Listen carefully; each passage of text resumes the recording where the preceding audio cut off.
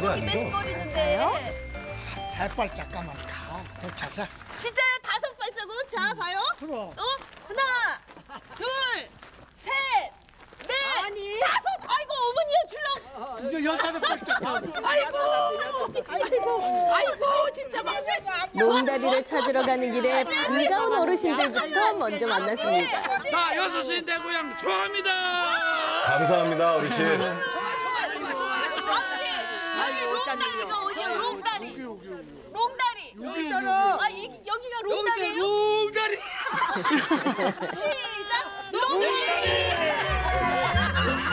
자, 가다 보니 롱다리보다 먼저 오. 거대한 고추가 먼저 반겨줍니다. 아, 이 다리예요? 네, 참 길어요. 정말 이게 또 우리나라 최고 기름. 출렁다리예요, 이게? 롱다리요. 최고 긴 출렁다리. 207m. 와, 길다. 207m?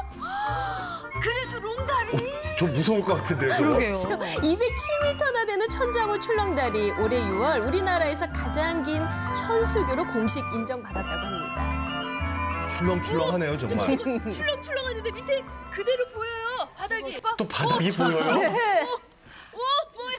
안녕하세요. 안녕하세요. 어, 안녕하세요. 네. 아이고, 일단은 마주오시는 분이 안 반가우시는 너무 출렁거리니까. 일부러 슬슬 뛰는 사람도 있습니다. 어머니, 잠깐만, 잠깐. 아이고, 반가워요. 아유 이났지.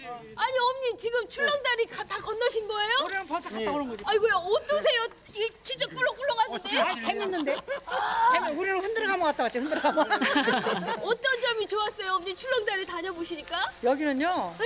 일단 저기 뭐 보기도 좋고, 어, 여기 오면 재밌던데 나 여기 일년에 한 번씩 오나, 일년에한 번씩. 아 너무 섭하다. 왜요? 세 번 약속하자고. 안내양이 발, 반가우면 발을 구르세요, 지금. 발을 구르세요. 칠갑산 끝자락에 놓인 출렁다리.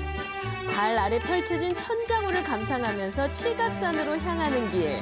아름다운 풍경에 재미까지 우리나라에서 더해집니다. 가장 긴 다리, 출렁다리가 있는 이곳 청양군으로 많이 많이